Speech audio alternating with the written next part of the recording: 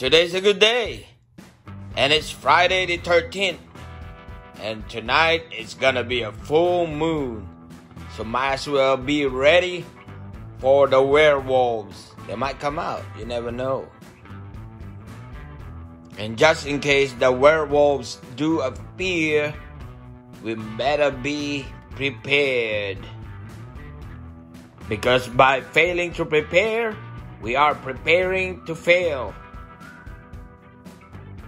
And our chosen tool for tonight will be the Smith & Wesson Model 29 4-inch 44 Magnum.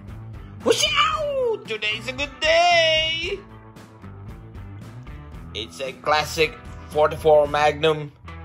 It has 4-inch barrel, blued steel, made of carbon steel, cylinder, and frame, wood grips, and it's a classic. And this is the left side, which has the engraving that says 44 Magnum. And of course the Smith & Wesson medallion. On the right side, or the other side, it has the Smith & Wesson medallion. Smith & Wesson logo. Made in the USA. Smith & Wesson. That's the red ramp front sight. Carbon steel frame and cylinder barrel. Blued finish. Six shots. 44 Magnum. Which can also shoot 44 specials.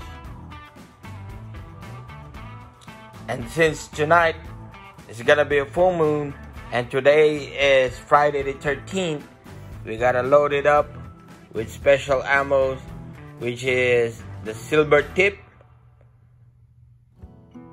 from Winchester, 210 grains, and I think you can buy them anywhere no more. It's a limited edition. That's why I'm holding on to them for special occasions like this. Full moon, Friday the 13th, you never know werewolves might come tonight. and we'll be ready. Today's a good day. And always think safety. 44 Magnum and Silver Tips ammo. That's it. We're ready. Whoosh